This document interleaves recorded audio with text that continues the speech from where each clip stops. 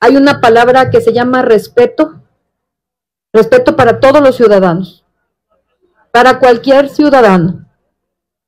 Y yo lo que pido, porque de mi parte siempre han tenido respeto, más muchos padres de familia se están manifestando y yo lo único que tengo que hacer es lo que el pueblo me esté mandando a mí. Y con quien tengo que quedar bien es con el pueblo.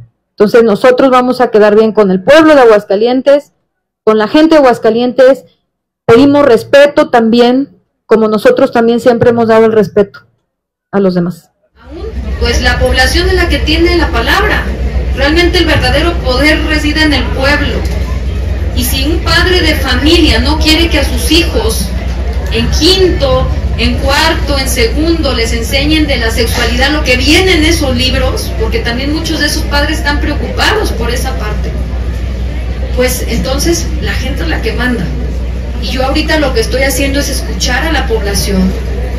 Me han llevado varias firmas, han hecho algunas manifestaciones los padres de familia que, hemos estado recibiendo en el Palacio de Gobierno y que hemos estado platicando con varias asociaciones también en donde me exponen eh, pues la preocupación que se tiene, que están los materiales listos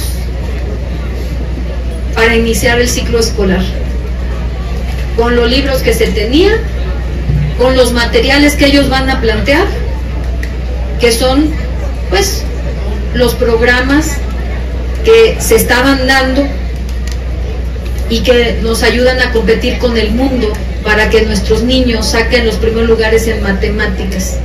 Decirles que efectivamente pues no vienen muchas matemáticas, tres, cinco hojas, eh, que hay alguna situación, les digo, mientras nosotros estamos mandando a los jóvenes a competir a Japón, que el número uno de, de matemáticas está aquí en Aguascalientes, que lo estamos mandando a Singapur a los niños para que compitan en matemáticas, que compitan con el mundo.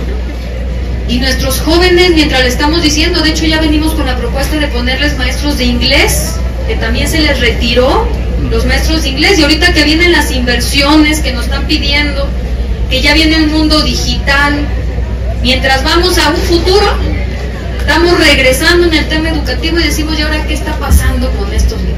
Entonces hicimos una revisión, estuvimos eh, revisando precisamente qué venía con los docentes, obviamente, eh, la directora de educación básica estuvo revisando en el Instituto de Educación y van a estar haciendo mesas. Y nosotros, nuestra postura es que ante unos amparos que ya se presentaron, pues nosotros no podemos distribuir esos libros mientras no haya un tema legal que realmente nos permita que el día de mañana podamos entregar los libros de texto.